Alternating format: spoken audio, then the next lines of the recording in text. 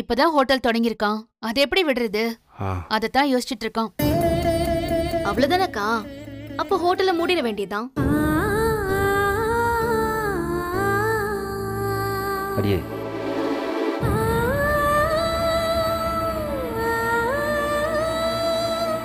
ஏங்க வீட்டை விட்டு வந்து அடுத்து என்ன செய்யறதுன்னு தெரியாம நின்னப்ப ஹோட்டல் தான் கை கொடுத்துச்சு. அதை எப்படிங்க பொசுக்குன்னு மூடிட முடியும்? அது மட்டும் இல்லாம இப்பதான் ஹோட்டல்ல நல்லா வியாபாரம் நடக்குது. அதுக்குள்ள எதுக்கு மூடணும்? ஏ மாமா? எனக்கு ஒரு யோசனை தோணுது. சொல்லவா? என்னதானே? என்னைக்கா இருந்தாலும் கதிர் கடைக்கு வந்துதான் ஆகணும். அதுக்காக ஹோட்டலையும் மூட முடியாது. பேசாம கதிர் உங்க கூட கடைக்கு வரட்டும்.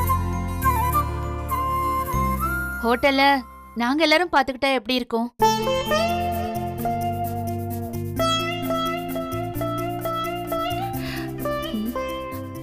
அக்கா நாங்கன்னா நாங்கன்னா நாம எல்லாரும் தான்.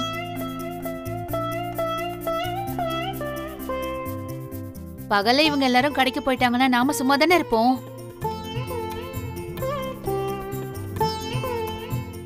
நாம நாலு பேருமா சேர்ந்து கடையை பாத்துக்கலாம். இது கூட நல்ல ஐடியாவெல்லாம் இருக்கு. அதெல்லாம் வேணாம்ப்பா. நீங்க எதுக்கு அங்க போய் கஷ்டப்பட்டுக்கிறீங்கண்ணே பேசாம வீட்டில் இருங்க.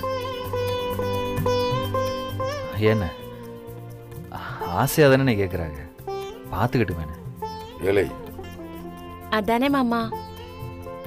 அது நம்மள ஆண்டர்பிரினரா ஆயிடுவோன்னு மாமாவுக்கு பயம். என்னப்பா? அப்படின்னா தொழிலதிபர் மாமா. அடேங்கப்பா. இல்ல யோசிச்சு பாருங்க மாமா. சரியா வரும்னு எனக்கு படுது. நல்ல யோசனையா தான் இருக்கு. ஆனா பாத்துக்க முடியுமா நீ? ஆ ஏங்க அதெல்லாம் பாத்துக்கலாங்க. ஹோட்டல் அவங்க கூட இருந்ததுனால அங்க என்ன நடக்கும்னு எனக்கு ஓரளவுக்கு தெரியும்.